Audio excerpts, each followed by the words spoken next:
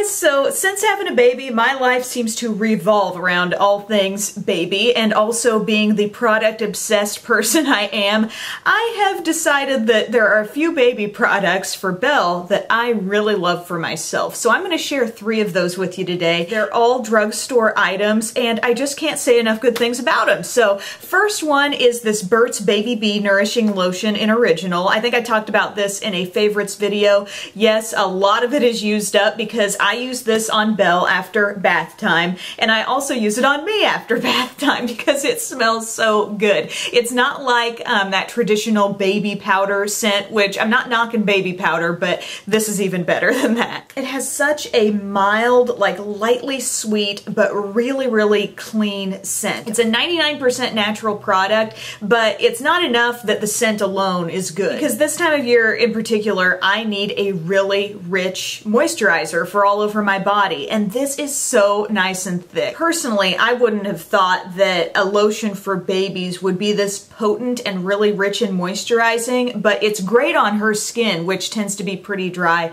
but really good on my skin as well. And another huge plus to this is that it's really good for my sensitive areas, which tends to be my legs um, after I shave. They can be really prone to getting red bumps on them if I use a lotion that's too heavily fragranced. But I can slather as much of this on as I want and it won't irritate those areas. And like I said, it just has the greatest scent and I kind of wonder if Belle like recognizes that scent on herself and then smells it on me and maybe that, I don't know, helps her calm down or something. Who knows? I am totally going to be repurchasing this, probably in a larger size. I just can't recommend that enough. Second product I want to mention is something for um, problem skin, um, eczema prone skin, really, really dry and sensitive skin. And I actually picked this up specifically for Belle because I was noticing on her face she was getting some areas that looked a little red, very dry. Just the whole surface of the skin looked very uneven and I thought, I wonder if that's painful. I don't know, odds are she can't even feel that, but I'm like, hmm, now that I'm in charge of another human skincare, I'm gonna go do something about it. So I did a little research online and I found that this Aveeno Baby Eczema Therapy Moisturizing Cream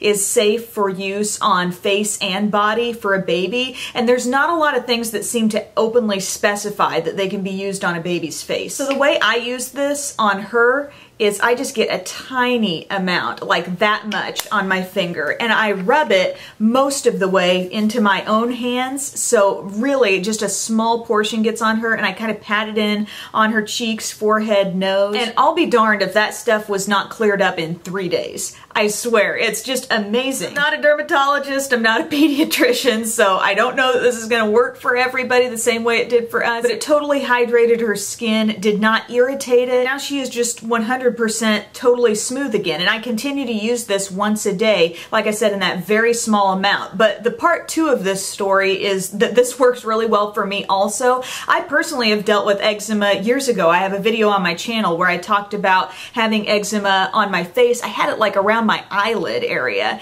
And I actually went to a doctor and got a prescription product to help deal with that. But every now and then I get kind of an eczema situation that comes up on my hand. It flares up around my knuckles. If it were flaring up right now, you'd be able to see it. But I've been using this on my own hands and it works so well. If you've got the dry, itchy, irritated skin, this is a super gentle product to use on it. There's a reason why this is like almost used up and this probably isn't going to be used up for a long, long time because this is the kind of thing I'm just using in, you know, very targeted places for me, like my hands where I might have an eczema issue like that or just the lightest amount on Belle's face. This is something I'm slathering on and using all over the body, but both I think are equally important products to me right now. Product number three is something that I actually don't use on Belle. I don't use any baby powder on her, but this is my dry shampoo. This is the best dry shampoo. This beats any product I have bought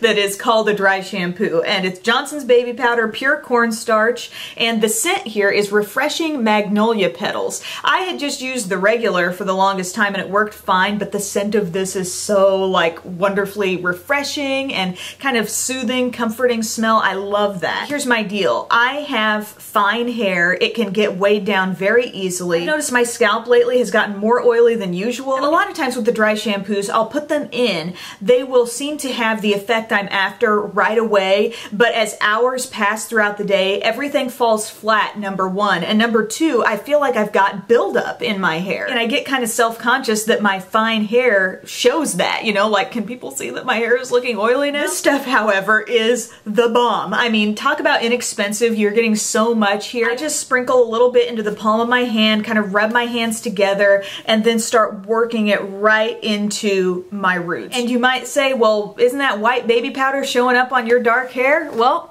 used it today, don't think you can see it. You just really gotta work it in. Sometimes if I'm even in a hurry, I will take my hairbrush, sprinkle a little bit of this right on the brush, and just go to town, brushing it through my hair, and it totally disappears. But it's absorbing that oil, it's actually lasting, it's having a lasting effect, and it's the cheap factor, you know? You can use a little bit of this, this is gonna last you so long. It smells great. Refreshing magnolia petals. I found this at Walgreens, I love it. One bonus product that I wanna mention, um, it's not technically for the baby. It's for a mama who's nursing the baby. And it's this Lansinoh um, HPA lanolin. It soothes and protects sore, cracked nipples.